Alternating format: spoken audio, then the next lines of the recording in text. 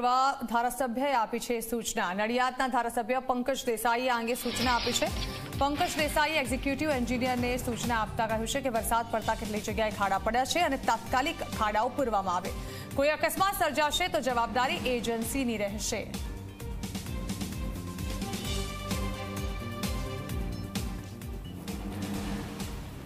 તો ધારાસભ્ય પંકજ દેસાઈએ હવે ખાડાઓ પૂરવા માટે સૂચના આપી છે. ઉલ્લેખનીય છે કે વરસાદની સિઝન શરૂ થઈ ચૂકી છે અને ઠેર ઠેર ખાડાઓની સિઝન પણ શરૂ થશે ત્યારે ધારાસભ્ય દ્વારા સૂચના આપવામાં આવી છે. જોકે તેનું પાલન કરવામાં આવે તે વધારે મહત્વનું છે.